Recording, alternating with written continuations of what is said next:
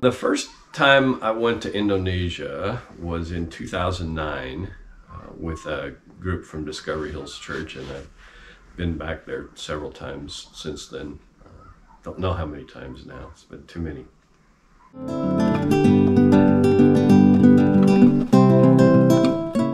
So, when I was young, I sailed in the San Francisco Bay with a friend of mine a lot.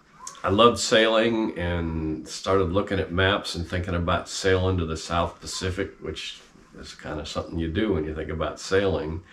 And my eyes landed on this bunch of islands over on the east end of the South Pacific, which was Indonesia, and I'd never heard of it before. And, uh, ever since then, I wanted to go to Indonesia.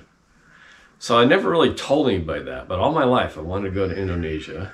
And one day at the back of the church, Tom Otter, uh, went on this first trip with us, uh, told me the missions committee was putting together a team to do a short term trip to Indonesia and would I be interested in going to Indonesia? And I just was dumbfounded. I, I just sat there thinking, I can't believe somebody just asked me if I want to go to Indonesia.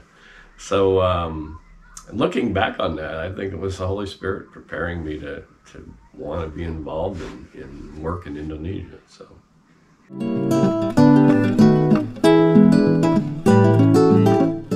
The main thing that we've done is try and provide an environment for Indonesian missionaries, Indonesian workers that are working in uh, spreading the gospel, trying to help uh, Muslims get to know Jesus. Uh, to support them in their in their work. They have a difficult time in, in living there sometimes, uh, at, at least living as Christians because it's a Muslim country.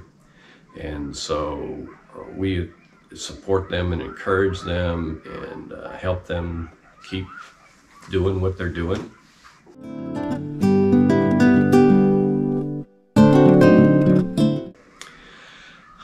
the most difficult for, thing for me, I think, is is I've become kind of a leader, I guess you would say, and and leading other people over there, which requires organizational thought and skills, which I I never thought I had before, and um, so the just the whole putting together a, a trip and organizing a bunch of people to end up in the same place at the same time and doing the same thing and preparing and to me that's one of the most amazing things is i'm not really particularly gifted at organization but god has enabled me to do that. And so i've seen him working uh, in me make, giving me abilities to do things that, that i wasn't normally comfortable with or wouldn't normally take on on my own.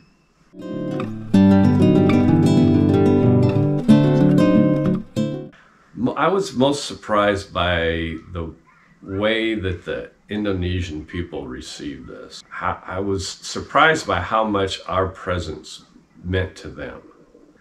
It's something that you can't really explain it, but there's a there's a the reception that we received from them and the encouragement that you can see that we provided for them by just being there and coming and, and showing our love for them and care for them. I was amazed how much our presence impacted the Indonesians.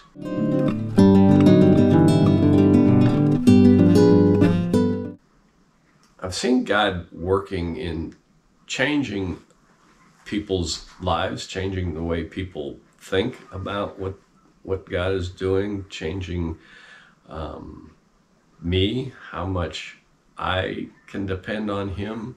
It's been pretty amazing to me to watch how God works in other people's lives. Um, we, some of the groups I've taken, we've done preparation work before we go.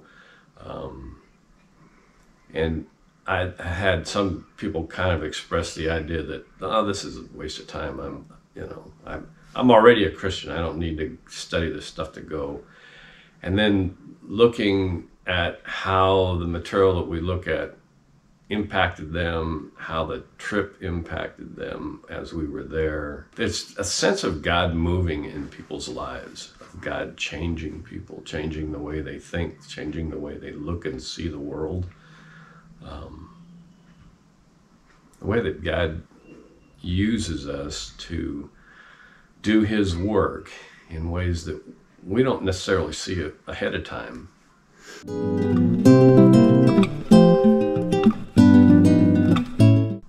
They've given me a lot more faith that God will do what He says He's going to do and that He's in charge.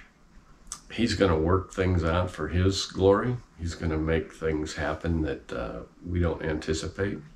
It's made me trust Him a lot more, feel more of a personal relationship. That it's that it's not just uh, an activity, but it's it's working together. It's this always astounds me that God uses and chooses to work through us, even in our weaknesses, to do things that, that He wants done that we don't necessarily anticipate ahead of time.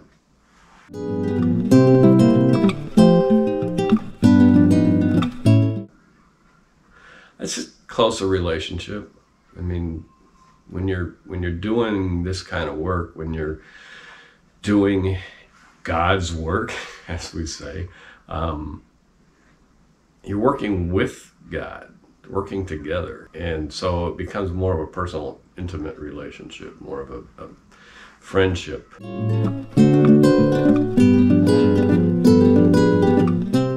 Uh, well, I would encourage you to go. I would encourage anybody to go on this kind of a, a opportunity to see God at work. The first time I ever went in the mission field, I was 19 years old, and it gave me an opportunity to see people that had a a real working relationship with God, that were that were doing His work on a daily basis, where that was that was what their life was about and it just it changed my perspective on what is christianity. It's not just a, a belief in something but it's something that you want to do. Something that you want to be. Being on a short-term trip gives you an opportunity to experience that in ways that you just really can't in normal everyday life.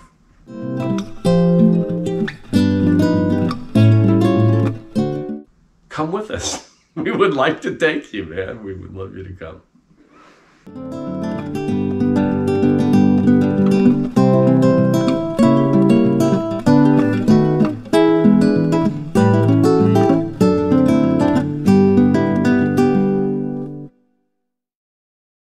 So, do you want the long version of this, or should I give it? I can edit it, so you can go as long as you want.